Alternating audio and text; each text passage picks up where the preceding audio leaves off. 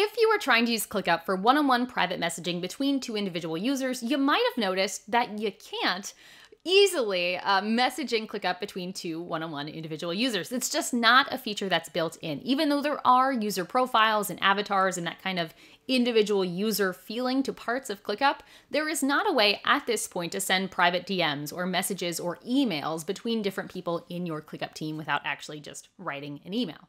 However, we can get a little creative with ClickUp to make this happen. The reason we have to get creative is because by default, ClickUp is organized by topics, really context. In order to have a conversation around something, you need to have the something to have a conversation about. So if I want to check in on the status of this YouTube video editing, I would have to go to the task for this YouTube video and post a comment that said something like, How's it going? And based on the context of where that comment is, someone who would see it would know, oh, she's asking, how's it going on this YouTube video, specifically regarding the editing, because that's the status of this YouTube task. You get what I'm saying. Context is kind of factored into most communication in ClickUp. Now, notice I say most. If we want to have an off topic conversation in ClickUp, we actually need to build a space for that off topic conversation to happen. By default, it is not there in ClickUp.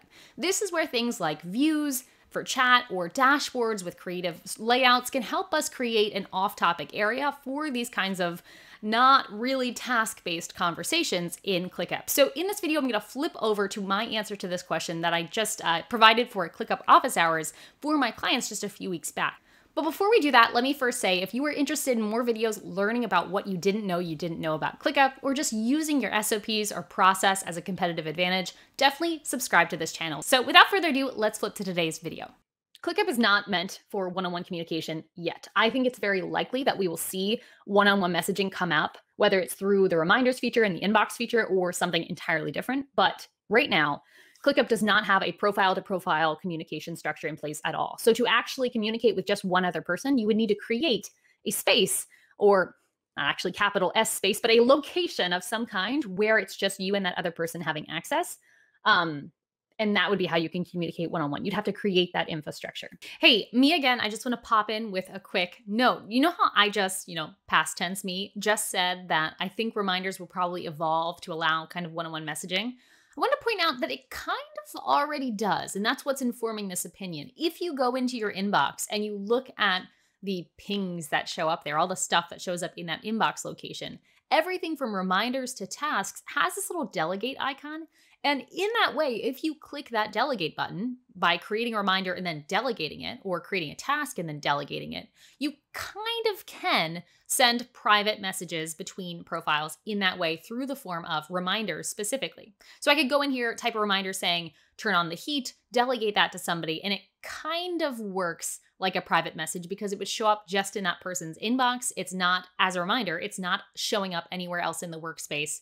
So I did want to mention that that's what I'm referring to, and that could kind of work if you're looking to just send one off messages versus actually having more of a chat or forum like experience. So just wanted to pop in with that little note here. We'll get back to the video. So I did mock up a few different ways to do this. Um, this is not a one-on-one example, but it is an example nonetheless. Uh, this is a dashboard, which I have two dashboard examples here. This is a dashboard that's recreating Slack. And basically what we've done here is we've created four different uh, chat widgets. And I created that by going to add widget, finding chat, giving it a name. In this case, I'm just copying Slack in some way. So we might give this, um, hmm, what do we want to call this? Goals. And I'm just adding those chat widgets side by side in kind of a a layout that works for me. If I can click on it, there we go.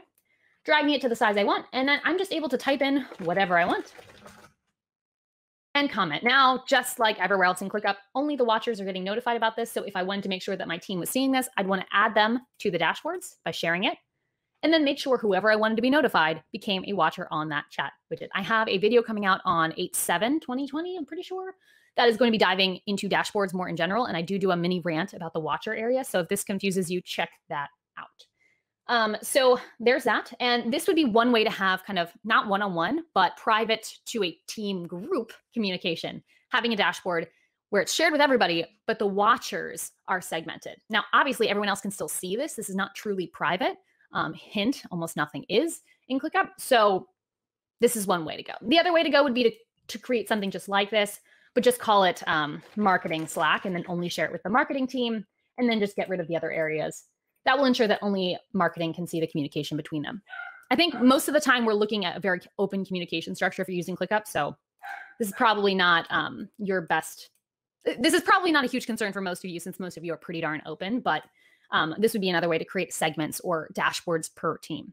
Now, one on one messages are a challenge. And here's one way that you can do it, but it's not really great. This is once again not private, but it is one on one. So here I would add John and Layla as watchers. I would add Jane and Layla as watchers. I would add Jane and John as watchers, the three potential combinations, and we would be able to message back and forth. And when I message in here, as long as my watchers were set up properly, both John and Layla would be notified. Unless, you know, I am Layla, in which case I would not be notified because you don't get notified about your own stuff, but there we go. To use this, I would need to share it with both John and Jane in this imaginary world, and then we would all be shared on this area where we each have kind of private chats between the individual groups. Again, not private because anyone who can see this dashboard can see the other chats. But if you're bad talking people, I mean, don't or use email or something else junky like that. um, so this is one-on-one messages, again, not private. If you want it to be private and one-on-one, you have to make a dashboard. Um, so sometimes I'll use this Layla and what do we say, John Doe um, one-on-one. You would actually need to create a one-on-one dashboard. And again, I'm using dashboards. You could also use chat widgets elsewhere. So having a private list, private view. Um, can't really do it many other places that I'm thinking of right now. But this would literally be a dashboard where you just have information between you and this person. So maybe you just this could be used for performance reviews where you have a few widgets relevant to the person that we are um need to do the thing. You could have it just showing stuff that John did, add widgets. And we could have this dashboard where we could go back and forth talking about like anything John needs to know to be able to do his job. This is my one on one conversation area with John Doe. Now, here's the problem with this we have a team of three with three possible combinations of communication. If you have a team of 10 and you want to have one on one ways to communicate with each person in each possible combination of those people, that becomes a lot. so I go back to my beginning statement of saying that using ClickUp for one on one communication that is private is kind of a pain in the ass. But if you are persistent, you can do it. Um, if you're okay with it just being like boss man and or boss lady and each employee, that's a little bit more doable, or team leader and individual team member. But when you're looking at having one for every single possible combination of team members in your organization, depending on your team size, that could be a little ridiculous. So I would say I would use this one. I think I have something kind of like this set up in my own I would consider this one if you really feel like you need that grouped by people, not by topic. And I would use this one if you are grouped more by topic. You're more of a function based team and you're communicating more about specific areas of the business rather than certain things. So that is how you can sort of get away with having one-on-one messaging in ClickUp. It's not a perfect solution, but it will get the job done. And I've seen teams have a lot of success with this, especially if they're a smaller team or just building out conversations that don't need to be entirely private. Now, I'm curious to hear how you guys are currently working through this in ClickUp. Have you fully centralized your communications to ClickUp, or do you still supplement by using another tool in conjunction with ClickUp because you haven't quite been satisfied with this one on one messaging piece? Do you even use one on one messaging? I'd love to hear it in the comments below. And of course, if you liked this video and you'd like to see more things like this, be sure to subscribe, like, comment, all that good stuff so the algorithm knows that you enjoy this type of content.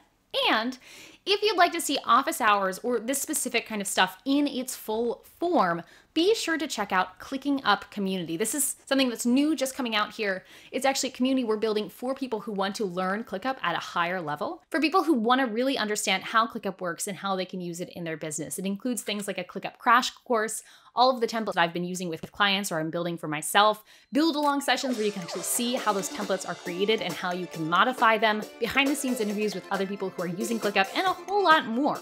So if you are interested in going behind the scenes into my ClickUp or seeing other people's ClickUp accounts, definitely check out Clicking Up Community. It's actually in the description below, the information about that new uh, new thing that we're pulling out here. So thank you guys so much for watching this. I will see you on the next video and have a good one.